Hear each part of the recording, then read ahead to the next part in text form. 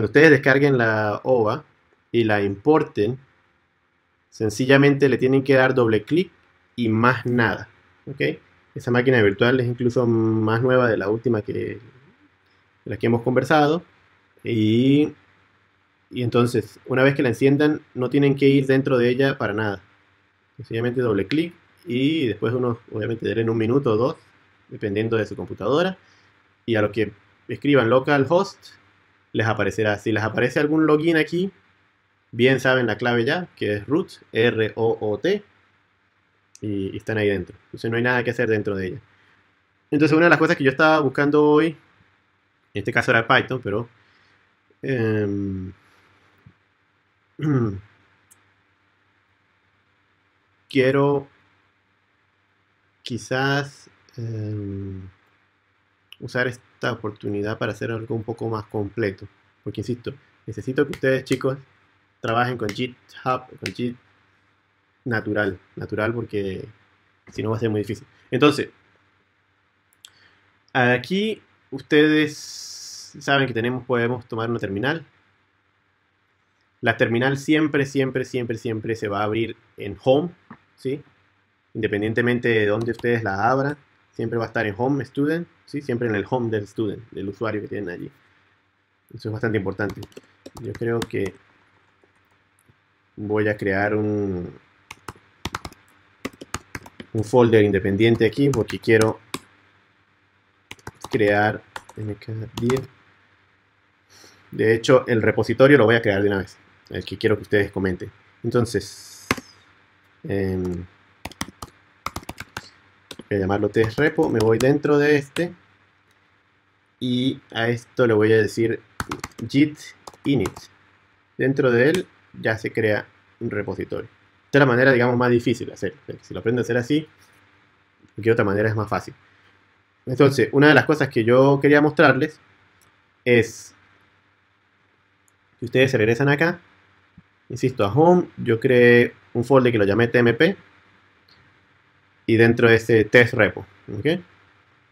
Aquí me voy a crear un notebook. Voy a crear un notebook de Python 3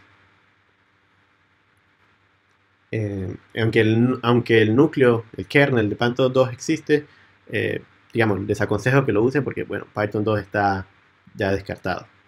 Pero o lo dejé, digamos, está instalado porque muchos notebooks viejos están aún escritos en Python 2 y puede serles útil correrlo en él. Pero cualquier cosa nueva, digamos, que vayan a hacer, mejor que lo hagan dentro de esto. Entonces, una de las cosas que les va a pasar a ustedes mientras estén migrando, mientras estén escribiendo, es que se van a dar cuenta de que pedazos de código quizás son muy largos o no vale la pena que estén en el notebook porque son repetitivos y ustedes pueden crear funciones. ¿Ok? Funciones que después ustedes pueden importar dentro del notebook. Entonces, lo que yo quería mostrarles rápido aquí es que yo, si ustedes buscan, de hecho aquí yo lo tengo, pero si ustedes buscan eh, function en Python, que fue lo que yo hice en Google, me encontré, por ejemplo, esta, que son, lo que quería era encontrar una función súper sencilla. Un ejemplo de, una función en Python. En este caso, simplemente imprime algo. ¿Ok? Entonces, yo lo que, lo que quiero es, voy a darle test import python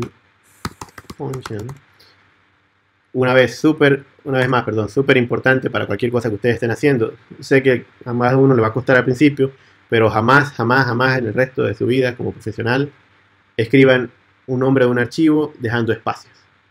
¿sí? Pongan guiones de ahora en adelante, o pisos, o como le llamen, underscore, etc. Pero nunca, nunca, nunca vuelvan a hacer eso en su vida. Entonces, test import Python. Busqué, como les dije, cómo crear una función en Python.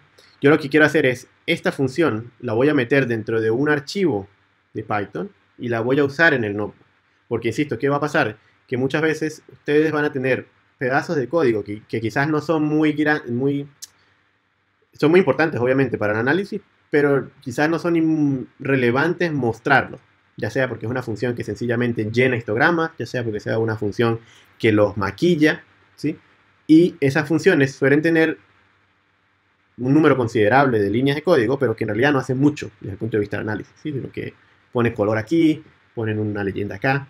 Entonces, uno bien puede crear eso en funciones e integrarlas dentro del notebook para que el notebook quede mucho más limpio y, también corra más rápido. Entonces, eh, a lo que quería, yo voy a crear un pequeño archivo, lo voy a llamar eh, function, capital, en letras, en plural, perdón, punto .python, punto .py, ¿sí? Entonces este archivo lo puedo escribir de muchas formas. Eh, yo uso bin. No tienen por qué usarlo en bin, ¿verdad? Porque si yo creo este archivo aquí y le digo, pongo un comentario, vamos a poner, por ejemplo, poner la fecha. Hoy es 4 de, no, estoy diciendo? Hoy es 2 de abril, creo, ¿no? Ya no me acuerdo. 2020. Y lo, y lo guardo. Pero ustedes también pueden crear ese archivo por acá, ¿verdad? Si yo lo abro aquí, me va a abrir un editor donde yo tengo el archivo ya allí. La extensión es lo que le va a dar la importancia a esto. Entonces, me voy a copiar lo que encontré en internet. Es sencillamente una función que imprime algo en Python. Lo pego acá. Y de hecho, Jupyter lo salvo automáticamente. No por eso les dejo de aconsejar que obviamente lo salven ustedes mismos también. Pero después de cada 30 segundos o algo así, esto salva automáticamente.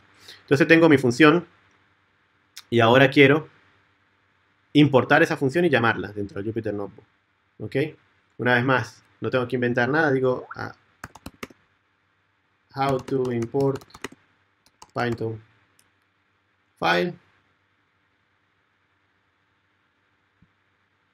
prácticamente el primer resultado que consiga me lo va a decir. Lo que tengo que hacer es importar el archivo y luego el nombre de la función. A ver, no lo veo acá. Me va a hacer quedar mal Google hoy.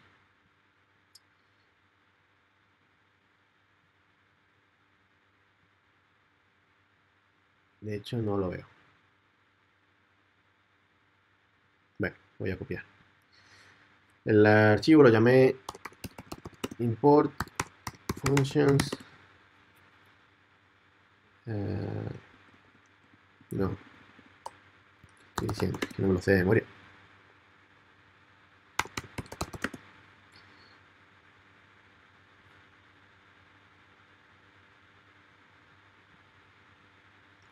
¿Alguien está todavía por ahí, por cierto?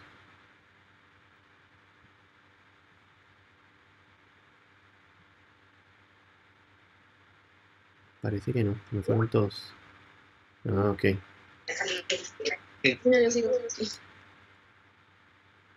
Aquí está, era esto lo que estaba buscando. Entonces, solamente para saber que, que me acuerdo. Como se dan cuenta, yo sin ninguna vergüenza les digo que yo estas cosas no me las sé de memoria. Primero porque no soy ningún programador de Python, pero al mismo tiempo no tengo por qué saber. Aunque obviamente les aconsejo que usted lo haga. Entonces lo que hace es, del archivo functions, importe la función que quiero importar. Obviamente este archivo puede tener muchas más funciones. Yo les aconsejo que en primera aproximación, un archivo, una función. O sea, mientras más atómicos sean, más fácil va a ser conseguir problemas. después con calma uno puede revisarlo, pero les aconsejo que sean lo, bastante, atómicos en este punto, a este nivel. Entonces, ¿cómo se llama la función? Se llama así. ¿Cómo se dice que, se, que la llamo? Bueno, me vengo para acá y le digo que sencillamente doy el nombre de la función, paréntesis que abre, paréntesis que cierra.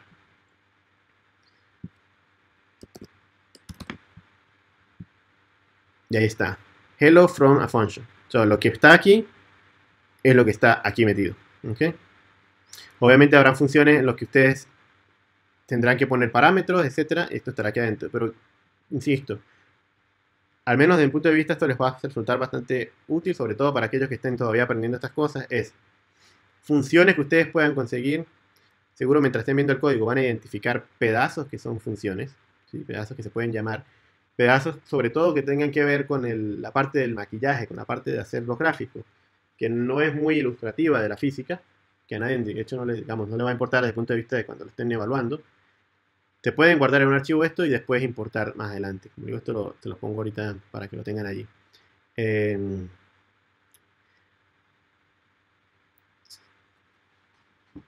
la otra parte que quería aprovechar, ya que estoy aquí, y no los aburro tanto, pero que quería que se quedara grabada también. Recuerden que yo hice git ini acá. Entonces, si yo digo git status, sí me van a presentar una serie de archivos que obviamente fueron creados y no son parte del repositorio. Nótese, y es súper importante que lo, que lo vayamos entendiendo, seguro ustedes ya lo tienen claro, pero lo, repito, un repositorio de Git, digamos, es sencillamente un modo de ir llevando una traza, una historia de lo que estoy haciendo dentro de ese folder, ¿sí? dentro de esa serie de archivos. No tiene nada que ver con GitHub, con GitLab, o etc. Estos son servicios que obviamente ayudan a mantener repositorios de Git, sobre todo obviamente en Internet. Pero yo aquí en mi máquina virtual, con Git ini, ya creé un repositorio. ¿Qué, quiere decir? Que ya Git está vigilando, está trazando la historia de cualquier cosa que vaya a caer dentro de este folder que llamé test repo. ¿ok? En este caso, pues, eh, la función, el, archivo en Python con la función dummy que puse y el, y el, y el, y el notebook que creé. Y, hay otros archivos, digamos, eh, escondidos, entre comillas, esos que se crean, que son, suelen ser temporal. ¿Ok? Entonces, otro archivo que podemos crear, de hecho, es .gitignore ignore que precisamente quiero poner estos, este clase de archivos, archivos que comienzan con, con un punto, que comienzan con un underscore. Sencillamente voy a voy a quitar esto de acá. Entonces cualquier cosa que empiece con un punto y cualquier cosa que empiece con un, un underscore, lo, lo, ignore, es decir, no lo, no lo siga, no lo trace, no lo haga parte del repositorio. Si yo hago git status de nuevo, ahora son menos, ¿sí? Ahora lo que aparece en rojo, como, como que está siendo trazado, o como que debería estar siendo trazado, porque de hecho no están, no, han, no he hecho commit aún, son dos nada más, ¿ok? Entonces ahora yo hago git add y un puntico, porque lo quiero sumar todos. Yo hago git status de nuevo, aunque no se ve seguro muy claro para ustedes, pero sí, cuando reproduzcan el video, de hecho ahora dice new, new file y el color cambió, pasó de ser rojo a ser verde. Y ahora yo digo git commit y le digo menos m porque siempre quedaron comentarios, esto se los di en las clases que nos vimos. Eh, le digo primeros archivos y doy enter y ahora los dos archivos. Si le doy git status una vez más, me dice, mira, nada más que comentar, nada más que hacer commit. El, área está limpia. Una vez más, insisto, aquí no hay ningún GitHub, no hay ningún nada. Lo que está haciendo es que dentro de la misma máquina virtual está trazando la historia. Si yo vengo a este notebook y le inserto otra celda aquí para darle un título a esto, la cambio de estilo y le digo celda markdown ¿verdad? Y le pongo un test repo. Ahí está. Lo guardo. Obviamente si yo regreso a mi terminal y le doy git, git status, ahora sí aparece que hubo un cambio. Y lo, lo necesito hacer commit. Me reciclo el se llama el comando? Y pongo título. Título agregado. Ah, tengo que decirle algo aquí. Ah, come on. Título agregado. Si le vuelvo a decir git status, una vez más me dice todo está guardado. O mejor dicho, todo está, sí, trazado. Entonces, insisto, nótese que Git no tiene nada que ver con GitHub, etc. Entonces, yo lo que quiero es que ustedes hagan esto con su trabajo. Cualquier cosa que ustedes estén haciendo, si ustedes deciden empezar en limpio, desde un repositorio, yo voy a empezar poco a poco con mis notebooks. Cualquier cosa que ustedes estén probando y que ya le tenga cierta forma, creen un Git, un, Git un, sí, un repositorio de Git. No tiene que ser la primera cosa, es decir, si ustedes ya tienen un, folder aquí y ya crearon cosas, ustedes básicamente dentro de él, si ustedes hacen git init, a cualquier punto de lo que ya hayan hecho, va a crear un git repositorio. Aquí de hecho dice, mire, reinicializando, reinicializando, perdón, un repositorio ya existente. ¿sí? No le tengan miedo, ustedes lo pueden hacer a cualquier, a cualquier punto. Lo importante es que lo lleven en Git siempre, siempre, siempre, siempre. ¿Por qué? Porque ahora, insisto, imagínense que ahora mi, notebook tiene cierta, cierta madurez y yo tengo, yo quiero mostrar lo que estoy haciendo. ya sea a mí, digamos a Arturo, o yo necesito ayuda. Algo no me está funcionando y no lo veo. Yo necesito ponerlo en GitHub, ¿sí? Para poder compartirlo, para que esa otra persona que me va a ayudar pueda hacer un clon y ver qué es lo que está pasando. O más de una persona puedan ayudar. ¿Ok? Entonces, aquí sí voy a tener que usar GitHub. Yo me voy a mi cuenta de GitHub. Lo equivalente sería lo de ustedes. Y vamos a hacer este ejemplo rápido. Em, yo puedo crear un nuevo repositorio con el plus, con el más. Y aquí les va a dar varias opciones. Entonces ustedes le ponen un título. ¿Dónde está? Aquí está. Este señor yo lo llamé... Eh, se me olvida. TSRepo. Ok, TSRepo. De hecho no lo voy a llamar así porque en mi caso es bastante genérico. TSRepo, Python, eh, Functions. Quieren algo que tenga sentido, así sea largo. Nada, eso no, no tiene ningún problema. Ok. Lo digo que sea público, no le digo más nada y lo creo. Ok, aquí JIT les va a mostrar una función bastante interesante que son tres cosas. Uno, ustedes pueden, dice, ya que lo tengo aquí, lo pueden crear a través de la aplicación, que no lo aconsejo. Otra, sencillamente, crean un repositorio usando la línea de comando, ¿sí? es decir, desde la terminal donde ustedes están, si el repositorio es totalmente nuevo, ustedes sencillamente hacen git init, ya sabemos qué es, metan algún archivo, le dan como el remoto o el origen remoto esta línea y hacen el push de todo al master. O hagan el push de un repositorio que ya existe. An existing repository. Este es nuestro caso. Nosotros ya tenemos un repositorio que existe. Un repositorio de Git. Entonces yo lo que hago es ¿Qué voy a hacer estas dos líneas? Ahora mi, repositorio de Git va a tener como origen remoto este está acá. Entonces yo me devuelvo a mi terminal, donde estoy dentro del folder, pego, sería que copié, quizás no. Vamos a ver, copiar, pegar, ahí está, oh, lo pegó tres veces. Creo que sencillamente está muy lenta computadora. Em, pegar. Ok, ahí está. Entonces, ahora, sencillamente lo que le está diciendo es, ese, ese repositorio de JIT que ustedes crearon dentro de su computadora, dentro de la máquina virtual, ahora tiene una conexión, digamos, tiene un link, tiene un enlace a un repositorio remoto. En este caso, en GitHub. Y la siguiente línea que me ofrece es que sencillamente haga el push. Ok. Se va a copiar pegar. Aquí seguramente les va a pedir eh, las credenciales. Ajá, entonces. A dar física. Y el password de ustedes. Disculpen que esto está bastante lento. Ok. Login, mi password. Y ahí está. Si yo me regreso ahora a mi cuenta en GitHub, y refresco, recargo, lo que sea, nótese que ahora están los dos archivos, la función .py, imprime un mensaje, y el notebook, que sencillamente importa ese archivo con esa función y llama a la función. Bastante sencillo, insisto, es una cuestión de, de hacerlo varias veces para tenerle eh, ese sentido, para tenerle, ok, ya siento cómo funciona, ok.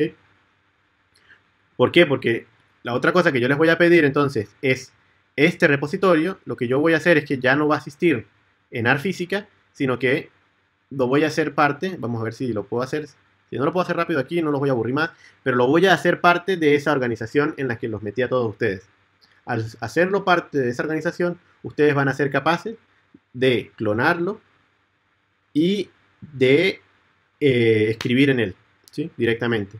Entonces lo que les voy a pedir, para, insisto, para que ustedes se familiaricen y para mí probar si hay algún problema o no, es que ustedes van a poner cada uno de ustedes una cosa distinta acá. Entonces yo les voy a, les voy a, colocar este eh, repositorio acá y ustedes y decirles, mandarles esa pequeña tareita, digámoslo así.